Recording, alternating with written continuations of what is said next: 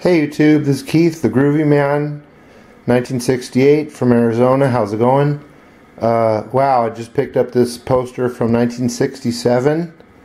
That's a year older than me, so it's 50. Uh, it's really big. It's like over 30 by 40 inches. It's called 13 Color Sun Lotus from the flower. It's actually in excellent condition.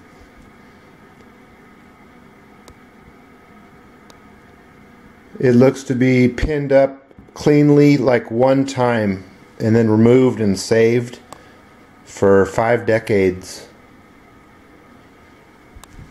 It's a blacklight poster, so very psychedelic, very hippie. Definitely be going into a frame.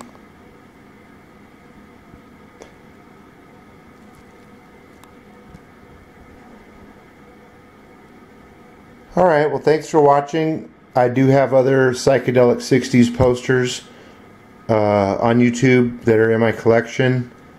So if you just look under my name, Groovy Man 1968, you'll see them. It's a really nice time period to collect.